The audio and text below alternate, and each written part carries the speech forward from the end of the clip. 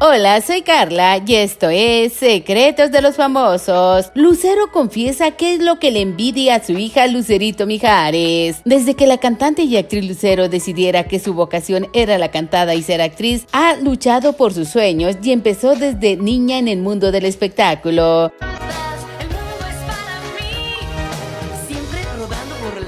Ante este ejemplo, su única hija decidió ir por el mismo camino de sus famosos padres, ya que el pasado 2023 decidió debutar en el ámbito del teatro musical, algo que la joven ama y que no ha sido muy fácil, aunque tenga a sus dos padres famosos en la industria que son muy respetados, ya que ella se destaca por su talento y carisma.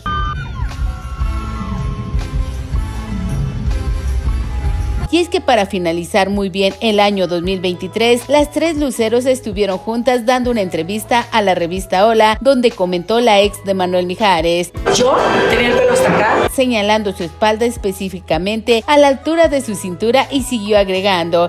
Espectacular, una cosa muy impresionante de verdad. Dijo la protagonista del Gallo de Oro. Y siguió agregando mientras la maquillaban y le arreglaban el cabello. Entonces dice Lucerito que ya quiere el pelo de Lucero en los 90. Y es que recordemos que por un video que hizo en los noventas con una canción que se volvió tendencia mostrando cómo lucía su larga cabellera.